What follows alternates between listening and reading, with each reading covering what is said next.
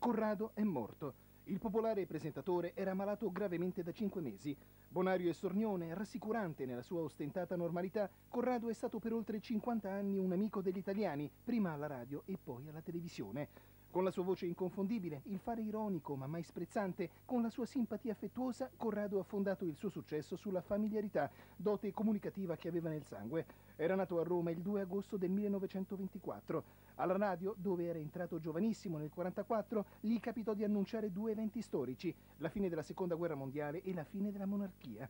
Trasmissione simbolo fu la corrida, culto della radio degli anni 60, esportata poi in tv nel 1986.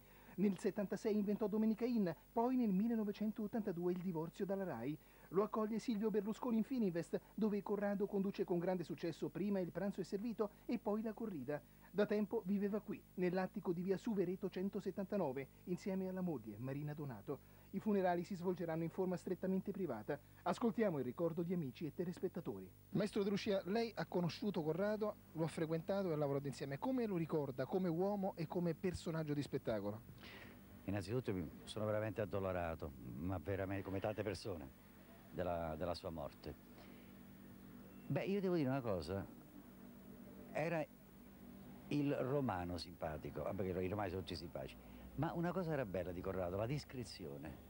Cioè lui era molto discreto, lui non, non, non ha mai strafatto, non si metteva mai troppo in evidenza.